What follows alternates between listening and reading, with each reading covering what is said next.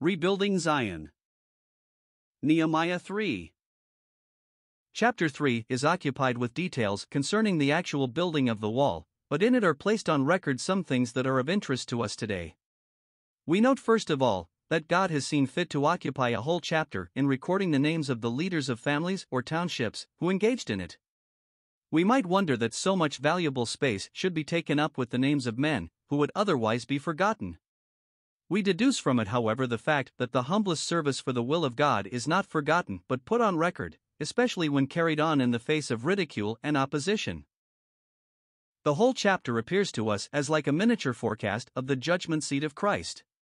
This is especially so when we read verses 5, 12, 20, 23, and 27. The Tekoites were very diligent, for they repaired another piece, as well as the first they undertook, yet it is recorded that their nobles put not their necks to the work of their Lord. All too often, worldly elevation proves a hindrance when the work of the Lord is in question. Their nobles, no doubt, liked to talk and direct, but did not like to soil their hands, nor bend their necks, to do the work. On the other hand, there was Shallum, who was ruler of the half part of Jerusalem, putting his hand to the work, and not only he but his daughters also. This was indeed remarkable, for building operations do not fall within the sphere of women's work.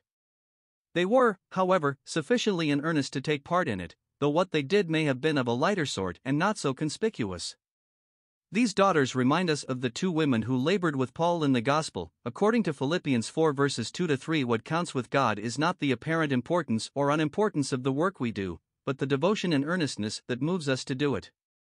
So the work of these daughters, whatever it was, has a place in the record, and similar devotion and work in the present interests of the Lord will find mention and reward at the judgment seat of Christ. This thought is reinforced by the case of Baruch the son of Zabbai, for it is recorded that he earnestly repaired the other piece. He was evidently marked by unusual zeal, and it is noted and placed on the record, just as it is recorded of some of the workers, including even some of the priests, that they repaired against their house, which of course meant that they concerned themselves with the section that was of most interest and convenience to themselves. To do this was not so praiseworthy as to work on some piece of no particular interest to the worker, or perhaps even repulsive, as for instance, the repairing of the dung gate, undertaken by a man who was a ruler of part of a township, as is recorded in verse 14. So, the reading of this chapter should remind us that today we are called to serve the Lord's interests, either by building or maintaining the wall of separation that surrounds God's present house, which is the church of God, protecting it from the defilements of this present evil world.